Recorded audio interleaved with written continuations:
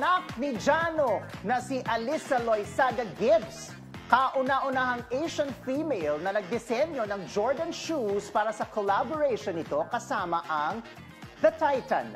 Inialay naman ni Alisa ang karangalan sa kanyang lolong si Kaloy Loizaga, isang legendary basketball player. Nagbabalik si Ray Talong Pumalon. Lodi o idol ang turing ngayon ng mga sports rubber shoes enthusiasts. Lalo sa mga kilalang brand, ang anak ng singer-comedian na si Jano Gibbs at veteran actress na si Bing Loizaga.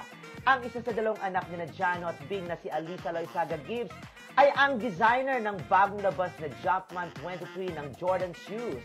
Sunod-sunod ang posting ni Alisa na nagbabalita at nagpapasalamat sa pagkakapili sa kanya ng Titan, isang basketball concept shop plus barbershop para maging design partner ng Jumpman collaboration. Ibinida ni Alisa sa kanyang Instagram wall ang ginawa niyang design sa sapatos.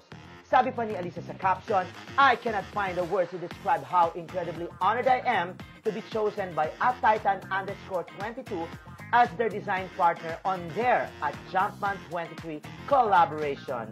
Ayon pa kay Alisa, ibinibigay niya ang karangalang makapag-design para sa Jordan sa yumao niyang lolo, ang legendary basketball player na si Kaloy Loizaga.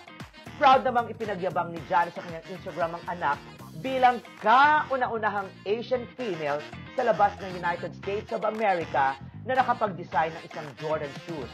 Oh, di ba bongga? Congratulations, Alisa! Ito po si Ray Kumaloy, ang showbiz marites ng Abante Teletabloid. Walang inaatrasang balita!